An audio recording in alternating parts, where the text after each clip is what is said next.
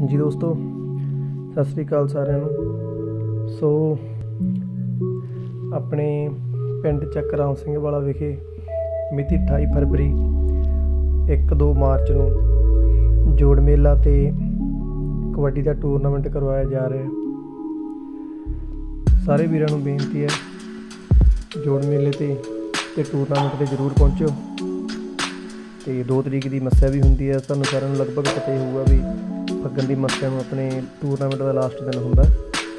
ਸੋ ਸਾਰੇ ਵੀਰਾਂ ਨੂੰ ਬੇਨਤੀ ਹੈ ਵੀ ਆਪਣੇ ਟੂਰਨਾਮੈਂਟ ਤੇ ਜ਼ਰੂਰ ਪਹੁੰਚੋ, ਰੌਣਕ ਵਧਾਇਓ ਤੇ ਇਸੇ ਸਮਾਗਮਾਂ ਦੇ ਸੰਬੰਧ ਦੇ ਵਿੱਚ ਆਪਣੇ ਵੀਰਾਂ ਵੱਲੋਂ ਪਿਛਲੇ 15 ਦਿਨਾਂ ਤੋਂ ਲੈ ਕੇ ਮਾਈ ਵੀਰੋ ਭਾਈ ਭਗਤੂ ਜੀ ਦੇ ਸਥਾਨਾਂ ਤੇ ਲਗਾਤਾਰ ਸੇਵਾ ਕੀਤੀ ਜਾ ਰਹੀ ਹੈ।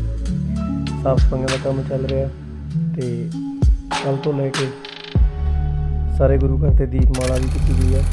ਸੋ ਸਾਰੇ ਵੀਰਾਂ ਨੇ ਜਰੂਰ ਪਹੁੰਚਣਾ ਤੇ ਰੌਣਕਾਂ 'ਚ ਵਾਧਾ ਕਰਨਾ। ਸਤਿ ਸ੍ਰੀ ਅਕਾਲ, ਧੰਨਵਾਦ।